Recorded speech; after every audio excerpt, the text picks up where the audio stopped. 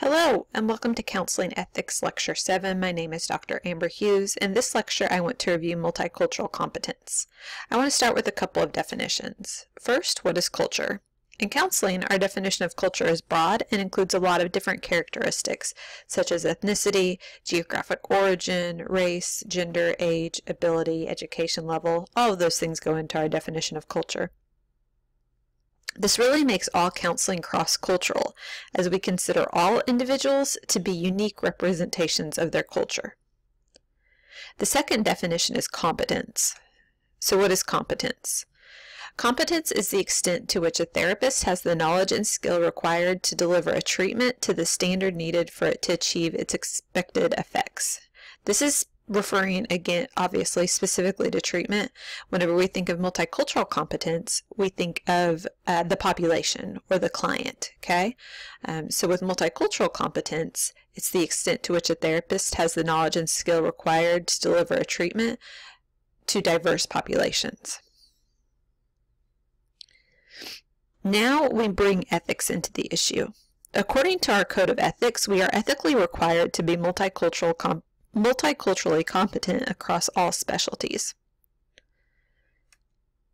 This means that the American Counseling Association and CACREP, remember CACREP is our, our accrediting body, uh, consider diversity to be a defining characteristic of the counseling profession. Your training in your counseling program is preparing you to be a multiculturally competent counselor.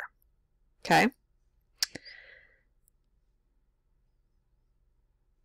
There are three components to being a multiculturally competent counselor.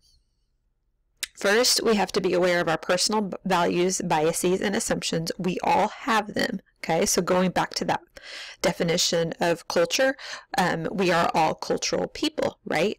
Um, so we all have all of those things that are uh, contributing to make us who we are. Therefore, it's not a matter of eliminating our values, our biases, and our assumptions. Rather, it's a matter of acknowledging them and being aware of them. Okay? Uh, the second component is to be knowledgeable about cultural values, biases, and others' assumptions. So to be a multiculturally competent counselor, we have to have kind of a general understanding of different cultures and you'll get that through like your diversity class and through your other classes in your counseling program. However, you may need to do a little bit of research and seek professional development on your own if you're working with a specific population that you just got a little bit of information about.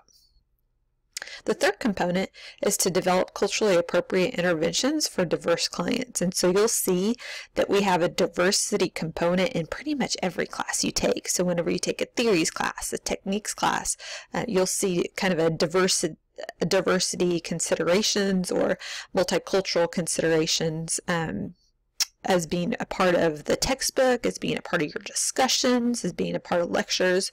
So we really include that in all of those classes and it's addressing this issue of making sure that we are able to develop culturally appropriate interventions for different populations of people.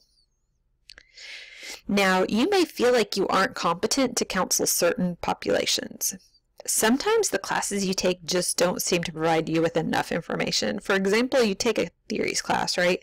But this class just provides you an overview of the different counseling theories, right? You're being introduced to all the different counseling theories there are. This is a lot of information, and you certainly wouldn't feel able to implement a theoretical approach without more information and training. You get this during your fieldwork. Sometimes you get this by going to a training or a workshop on a, on a particular theory or technique. Sometimes you get this through reading and research. Uh, but we get it through different ways, okay?